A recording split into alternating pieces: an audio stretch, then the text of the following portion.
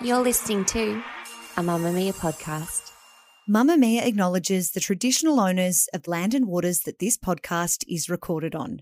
Hi there, just a warning that today's episode of True Crime Conversations contains stories about stillbirth, traumatic labour, and detailed surgery. If this is a tough one for you, please take care when listening.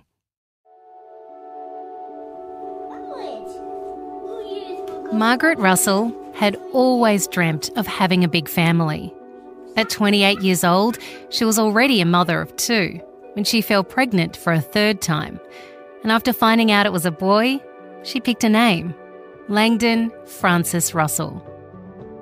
As her pregnancy progressed, her obstetrician, a man called Dr. Graeme Stephen Reeves, told her that her baby was doing well, that he would reach somewhere between 8 and 9 pounds when he was due, a big baby for a woman with such a slight frame. She was assured that Langdon would be fine, but that promise would not only be a lie, it would end the dreams of Margaret Russell's big, happy family. Instead of that promised 8 or 9 pounds, Langdon had grown to a massive 14 pounds. So when it came time to deliver him after a four hour labour, his head became stuck in the birthing canal and would remain there for more than 40 minutes. Her doctor, the man she'd trusted to deliver her baby safely, never once advised her to opt for a caesarean section. Instead, he yelled at her to shut up and stop screaming as she fought to deliver her son. He pushed on her stomach, trying to force the baby out. Mrs. Russell saying she could feel her baby's heartbeat between her legs as he desperately tried to enter the world through her body. As she continued to scream in agony, Dr. Reeves shouted at her again Shut up. Stop fucking screaming. Your baby is dead. Just push. With his leg up on the end of the bed and her baby's head in his hands, Dr. Reeves pulled the boy from his mother. The Registry of Births, Deaths and Marriages would register Langdon's arrival into the world, weighing 14 pounds 4 ounces, measuring 61.5 centimetres long, and with a head circumference of 38 centimetres, as a stillbirth.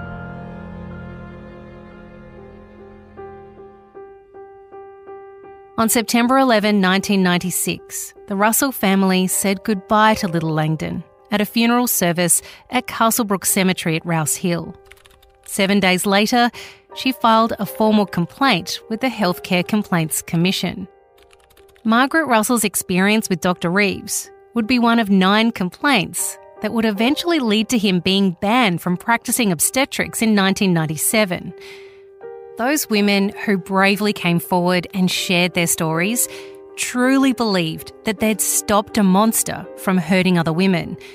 But little did they know, there'd been complaints about his conduct well before they'd shone a light on his behaviour, and there would be even more to come after.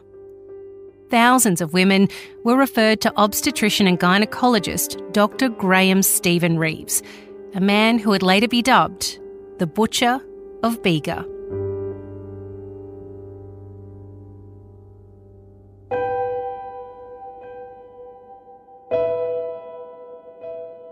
I'm Claire Murphy, and this is True Crime Conversations, a Mamamia podcast exploring the world's most notorious crimes by speaking to the people who know the most about them.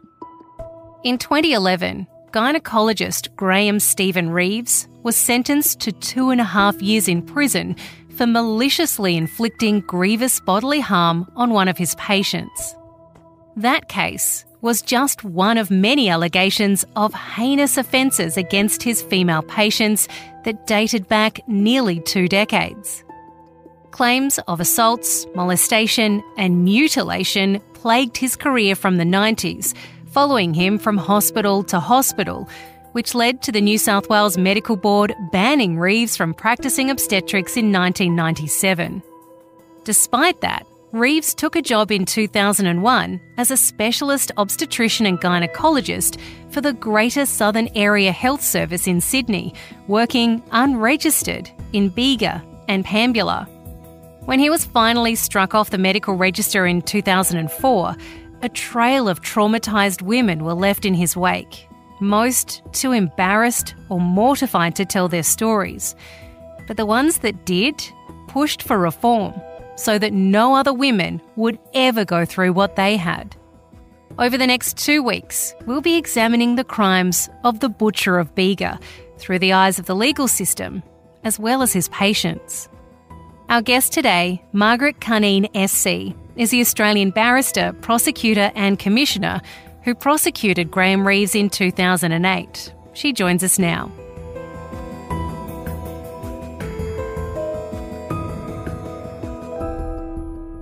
Margaret, Graeme Reeves started his career as an obstetrician and gynecologist at Sydney's Hornsby Ku-ring-gai Hospital just before Christmas 1985. Do we know how long before complaints started to come in about Dr. Reeves back then? Yes, it seems as though he went very well and was well regarded and thought to be kind and proficient for at least a decade. And Interestingly, I had a conversation a few years ago now, but during his first trial with Ray Hadley, the 2GB broadcaster of great renown, who told me that two of his children had been delivered by Dr. Reeves up in that area in the 80s, and that he and his then wife were absolutely thrilled with the births and the way that Dr. Reeves had assisted and delivered the babies. And he was really quite astonished that things could have gone so badly in later years for Graeme Reeves. So, for about a decade, he's doing well. Do we know what started to happen with Reeves for when these complaints did start to come in in the 90s? Yes. In the mid to late 90s, and certainly in 1996, there was the loss of a patient, of an obstetric patient who died undoubtedly because of Reeves's mistakes, but he was later acquitted of manslaughter by criminal negligence because it's a very high standard. But that patient, Mrs. McAllister, Kerry McAllister, was lost in 1996. Now, I tried to work out what could have gone wrong with him because it had been described to me how he was a person who used to gain an awful lot of weight till he was obese, and then he'd lose an awful lot of weight till he became skinny. And this happened quite a few times, and he was known to have contracted diabetes and other serious physical health problems. And one just has to wonder whether that also took a toll on his mind and on his brain. So it always seemed to me, having heard so many people speak highly of the first part of Dr. Reeves' career, that something must have happened to him to change the way he was. Because you would think that if he was a, a narcissistic psychopath, for example, that that would be a condition which always would have been manifest. So I'm prepared to accept in relation to him that his diabetes or some condition which built on that or, or was a result of that may have changed his brain chemistry. You mentioned his patient, Kerry McAllister, who died in 1996. That was just one of the cases that eventually saw Reeves in court, facing charges many years later. But at the time, what happened with Dr. Reeves and Kerry McAllister? Poor Kerry delivered a child. She was a 38 year old mum and she started getting a fever. And this was drawn to Dr. Reeves' attention by all the nursing staff. And he said to them, Look, I know, I know, uh, she's got a virus. But whether or not poor Kerry had a virus, she also had an advancing bacterial sepsis, which the nurses were afraid of. But the doctor just kept saying, no, it's okay. She doesn't have to be moved to a higher grade hospital or anything. I can look after this. And he basically just made the errors of, of not treating the bacteria that was killing her. And she just died of the sepsis, having recently been delivered of a new baby. And it was just a terrible tragedy. But the nursing staff saw what was going on and but were a bit powerless because Graeme Reeves was imperious and condescending. I heard a lot to the nursing staff. He knew best and wouldn't respond to their concerns. I understand maybe nursing staff feeling like they couldn't do or say anything in that instance, but did any of Dr. Reeves's peers ever step in when these concerns were being raised? Not really. It seems that he was always in smaller hospitals where he probably didn't have very much else going on. And that was, of course, particularly the case when he was in the Greater Southern Health District, particularly in the Pambula Hospital and Bega hospitals. He was only supposed to do gynecology because, fairly unknown to them, he'd been banned from obstetrics, but he still dabbled in it, so to speak, when he was down there. But he was the only women's health specialist that they had. And so there, there weren't any peers. And somehow he just got away with it. And perhaps also he was trading on that early good reputation that he had, that other doctors thought that he was okay. Now, in that time in the 1990s, he did work at several different hospitals during that period.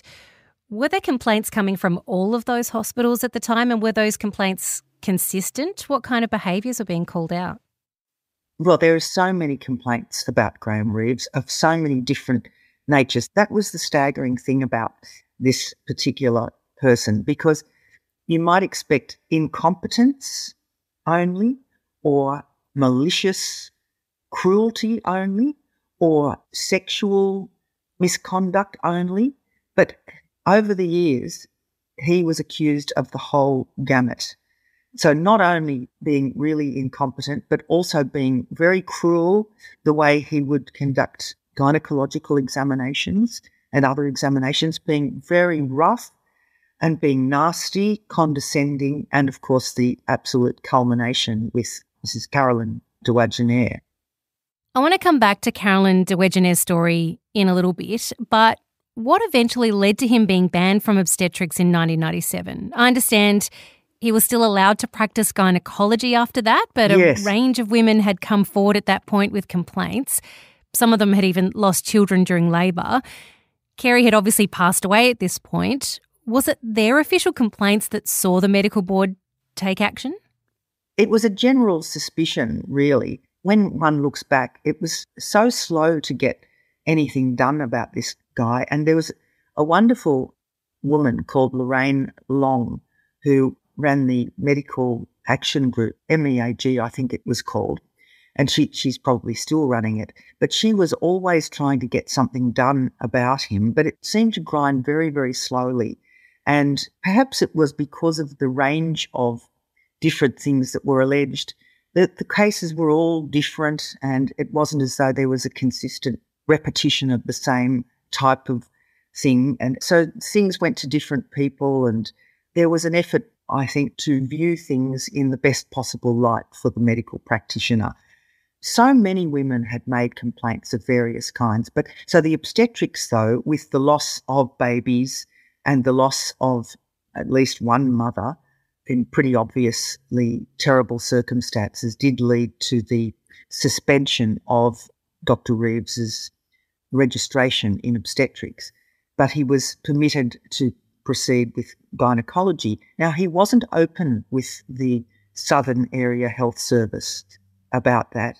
It wasn't plain. So he still got away with doing some obstetric work when he was down there. And once again, you know, he had the excuse, I recall, that, well, someone's got to do it. You can't stand by if you know what to do and, and you don't do it. And, and there, there is certainly an overlap between gynecology and obstetrics. So just to explain in a layperson's way about the difference between obstetrics and gynecology, as I understand it, obstetrics is all the medicine to do with delivering babies with your pregnancy and then the birth, be it vaginal or caesarean section. But the overlap with gynecology, which is everything to do with women's external and internal sex organs, the healthcare in relation to all of those organs is gynecology. And so obviously the overlap happens when the patient becomes pregnant. So he wasn't honest in relation to the restrictions that he'd had on his practice.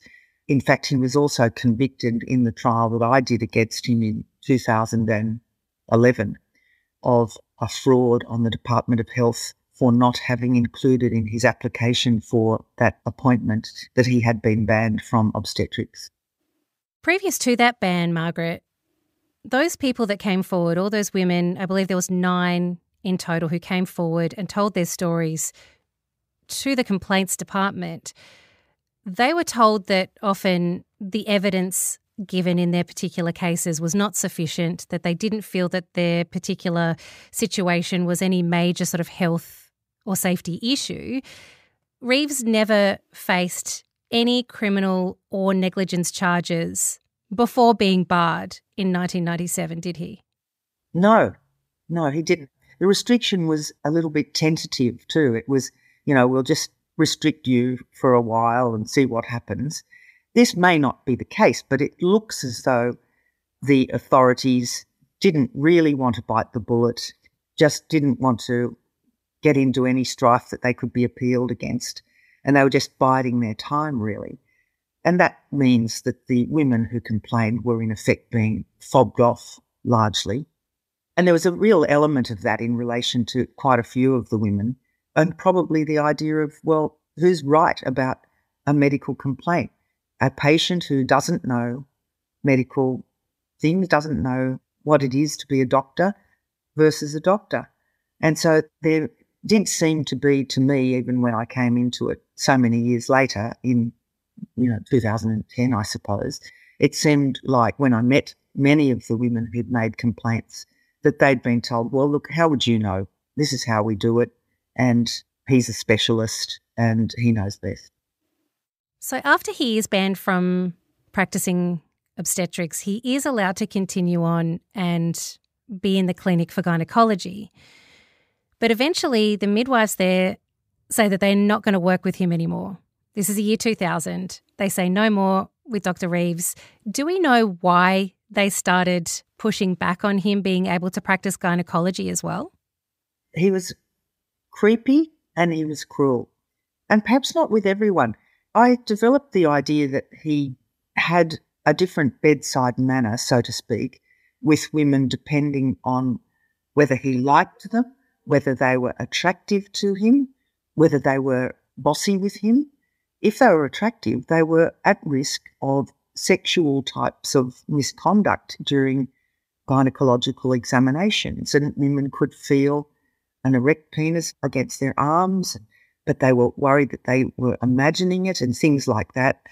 Or for some women, if they were sort of rather outspoken women or women who knew their rights and everything, he'd be very cruel in the application of a speculum, for example. And some women have described how rough and terribly painful it was when he examined them and, and how it seemed to them that he was enjoying hurting them.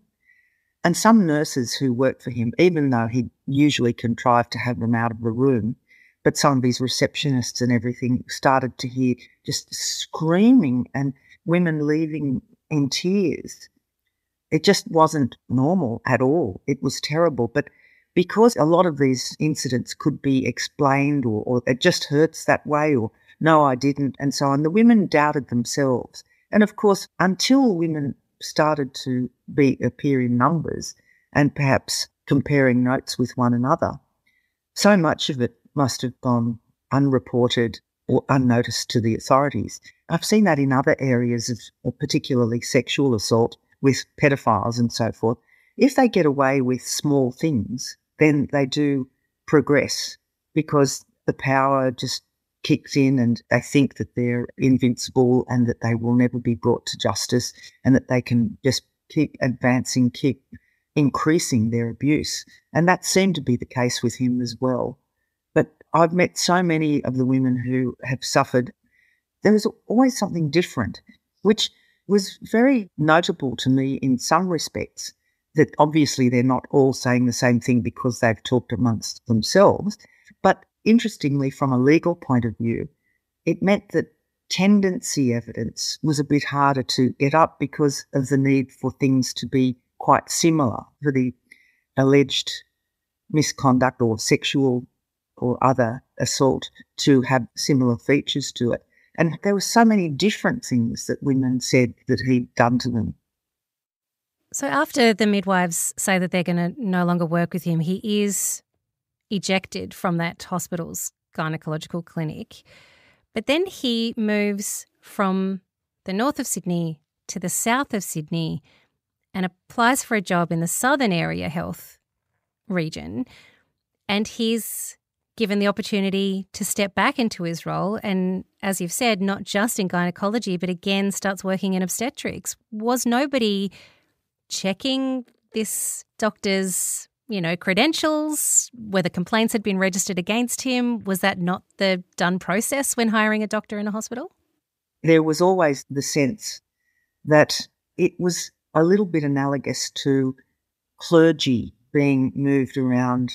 Okay, he made a mistake here. Let's hope it doesn't happen somewhere else. Now he's not my problem. Let's hope he's learned his lesson. That type of thing. And so it's very interesting that that phenomenon that we've seen in some of the churches in relation to pedophilia is probably the case too with the medical profession in this type of situation that it's difficult to prove it's a nuisance. No one wants any more complaints. So move them on. Maybe it's not true. Maybe they won't do it again. Maybe they've learnt the lesson. Someone else will have to pick up the problem somewhere else down the line. You're listening to True Crime Conversations with me, Claire Murphy. I'm speaking with Margaret Mary Cunneen SC, the Australian barrister, prosecutor, and commissioner who prosecuted Graeme Reeves, the butcher of Bega.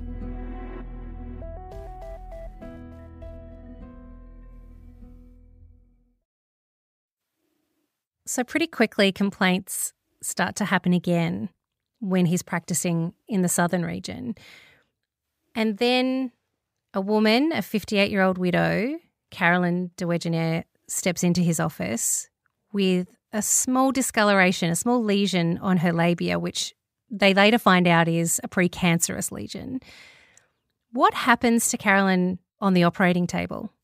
This is something that I can never forget. And I'm still in contact with Carolyn. She's a wonderful lady, English born.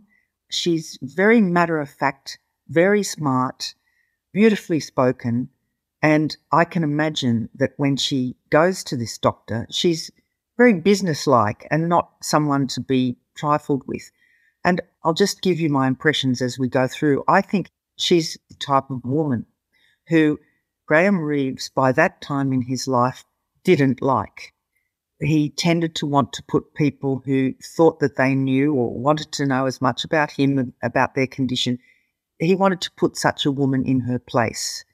He thought she was too much of a smart aleck and he would deal with her. That's what I think happened with Carolyn because I suppose she was coming to me too as a professional in a sense. And and so I know how she was. It was now, what are we going to get out of this now? I want you to do and she had a certain way of doing things and good for her. Why shouldn't we, when we're dealing with professionals, want to know how they're going to deal with our case, be it legal, medical, architectural, whatever? But she was just that type of type of woman. And so many of the women I met were not like that at all. They were very much more meek and mild, and oh, if the doctor says so, well, it must be right. But she's quite outstandingly a woman who speaks up for herself in a very clear fashion. So she went in with this slight discoloration in one labia minora, and it was about a centimetre around. It was just a, a white patch, really. And he said, Oh, yes, I think I can excise that for you. We'll book you in he may have taken a small biopsy then and found that it was the VIN3. It's not life threatening yet, but it can turn into a cancer that might spread a bit. And certainly it should be excised at an appropriate time. Well, that's what she thought she was going to get. And he drew a diagram for her where he marked on it the location of the lesion and then a little sort of dotted margin around it, which she naturally thought was what would be taken, that the lesion would be taken out and the, the sides sewn together, and that there'd be very little disruption to the area or to her life. Well, she booked in for the procedure, and she says, and it was accepted by the jury and right up to the High Court, that as she was going under the anaesthetic, he said to her, I'm going to take your clitoris too. And that's the last thing she knew. When she woke up, not only was her clitoris taken and the lesion, her whole labia majora and minora and clitoris were all removed, were all gone. What was left was sewn up with two openings. It was diabolical and the type of thing that no woman, having heard it, can ever get out of one's mind. And he said to her later, Well, you're a widow, so what? She was 58. At the time, I was younger than that, but now I'm quite a lot older. And I don't think that that's anything that a doctor should say. And it was particularly cruel to say that to that poor woman whose image as a woman was thereafter gone. She explained it so eloquently that she just doesn't feel like a woman at all now. She feels like a nothing. And she was given no choice about that. And quite obviously, if you heard that, knowing what you had, being as intelligent and forthright as she is, you would say, well, if he'd said that he was going to take so much, you would certainly go to someone else to see whether that is, is necessary. During the trial, we heard from many doctors on both sides. And of course, the doctors for the prosecution said all that needed to be taken was the lesion with a margin around it, a safe margin, a margin which would take into account any slight spread of this precancer, and that they would biopsy the edges to see that there's nothing that might have gone any further. And then perhaps if there had been any further spread, well, maybe more radical surgery then. But that was what was called for. But it was interesting that some of the old doctors called for the defence, said, oh, that was the way it was always dealt with in the old days. That particular thing, no, we used to take the lot, was much safer. And actually, it was extremely galling to hear that. It is a, a fairly rare thing, but it's happened in like in the mm. order of say hundreds of times in this country that women have been treated that way for that type of thing on the basis that oh well so what they're old who cares? And we might as well take it all now because then there's no trouble in the future. And it's awful to think that the sexual aspect of a woman of any age, of her identity and self worth in that area, can just be stripped away by, well, people who were pretty much all male doctors, just thinking, oh, so what? She's old, she doesn't need it anymore. To me, it was a, a very interesting look into the history of gynecology and how, to some doctors, once a woman's reproductive life was over, it didn't matter that she didn't have any structural external genitalia. Now, everyone knows that when you go into surgery, you're not alone in a room with a surgeon. There's a team of people that go in with you, nurses, anaesthetists, etc. Did anyone say anything when they noticed that too much was being taken? Of course, everyone at that operation was called in the trial. And the anaesthetist said, I don't know anything about that, so I didn't really look or anything. But the head theatre nurse said she was just shocked and she said, You're not taking all of it. And he said, Oh, I have to. I have to. And it just happened. This was an interesting thing. It was called a vulvectomy. And that can mean something excised from the vulva. But Dr. Reeves explained it as well, I said it was a vulvectomy. That's what I've always called it. When I'm there, I take what I have to take. So, Carolyn isn't the only person who's suffered an injustice at the hands of Dr. Reeves. There are other women during this period when he's in the southern region who again claim that they've been sexually assaulted, that they have had inappropriate surgeries and some have had complete hysterectomies to rectify the damage that was done to them. But still, at that time, we're talking around 2002, 2003, there's still no criminal charges being laid against Dr. Reeves. That doesn't come until much later in 2008. What changed for the courts to finally get involved with him?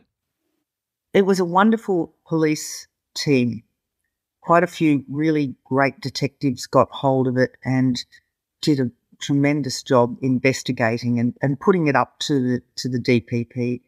They brought to us close to 100 case studies that I looked at all of them. And obviously, you can't run them all together. And so I decided we should start on the most obviously serious case with a live victim and see how we go with that. That was Carolyn. And we did well with that. And then on the basis that perhaps he might plead to other things after that once we have some success. Well, we did succeed with that case because Carolyn was such a credible witness. The offence was so obvious and so serious. And many of the women didn't want to give evidence. They just didn't want to. And they didn't want to be cross examined. They didn't want to talk about what had happened to them. But a few did. And a couple of other women who did give evidence about what had happened to them too. But some women were prepared to say, and this happens in sexual assault too, some women were prepared to say, well, run those cases and I'm happy to see what happens then and see him get his comeuppance through other people. That's their entitlement to if they don't want to have anything to do with it and don't want to give evidence. So we did start with that. And we had some ideas for other ways of dealing with things, but of course, Reeves started to appeal and we had to wait to see what happened in the Court of Criminal Appeal and the High Court. So that chewed up some years. And then by 2017, there was another trial against him in relation to Kerry McAllister. And I wasn't briefed to do that, even though I was still a Crown prosecutor at the time, but I was mainly doing murders then. And another Crown did that case and it didn't succeed. It was a judge alone case before Judge Zahra, who's now sadly deceased. But he found that although Graeme Reeves had clearly made numerous errors in relation to Kerry McAllister that it didn't reach that criminal standard, manslaughter by criminal negligence, and he acquitted him. And so that was also one of the very strongest cases, I thought. And then the DPP didn't proceed, and, and that was up to the DPP and not me, didn't proceed in relation to any of the other counts. And perhaps one of the things that fed into that decision was that Reeves had many, many health problems, but I note that he's still alive and he's not in jail anymore. He didn't really do that long for, for Carolyn DeWaegeneire, about two and a half years. And so it's not satisfactory at all. And so many women might feel that they haven't been vindicated in, in this, but at least, at least that man will never work in any medical capacity again. And off the back of Carolyn's case, New South Wales did introduce the strongest legislation in the country to protect patients against misconduct by doctors, passing the Medical Practice Amendment Bill through the New South Wales Parliament. Now, that bill saw a number of changes, including the introduction of mandatory reporting by medical practitioners of their colleagues in instances of serious misconduct and automatic suspensions for doctors who breach certain conditions on their registration. But did that really change anything for patients? Because there was another case of another gynecologist who in 2016 was found to have done a lot of unnecessary surgeries on the genitals of women over a space of 20 years. And those people had all complained too, and nothing had come of it up to that point. Did the Graeme Reeves decision actually change anything for women who find themselves in this situation?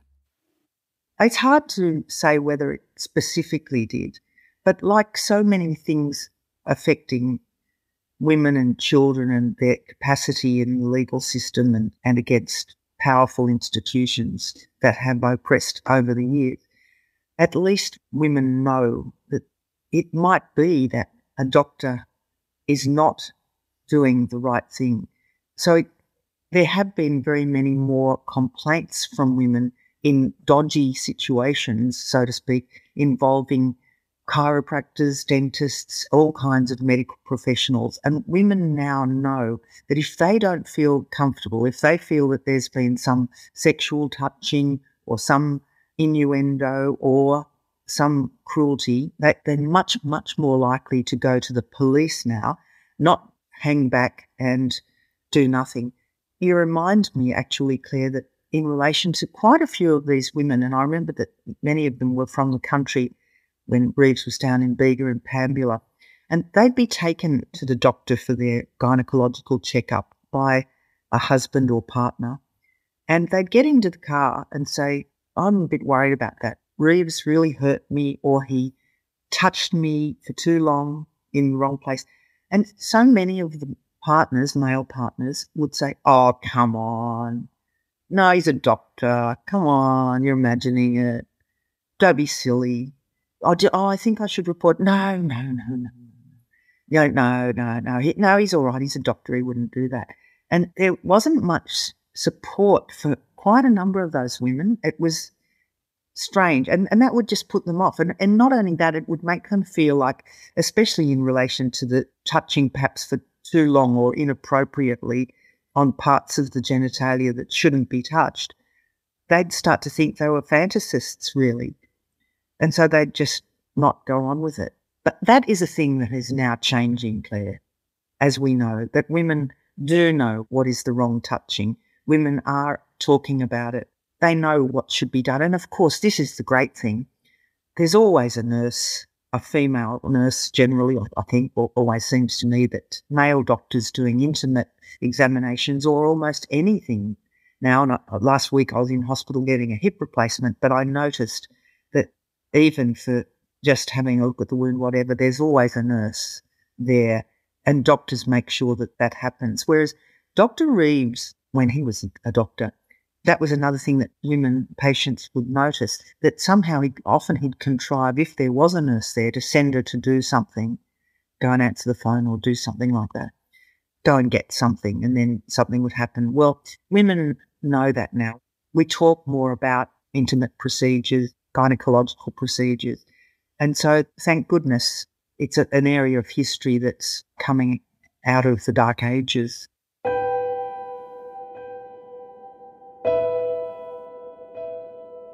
Thanks to Margaret for assisting us to tell this story. This episode is the first in a two part special about the Butcher of Bega. Next week, we'll be joined by a former patient of Graeme Reeves, telling her story on the record for the first time.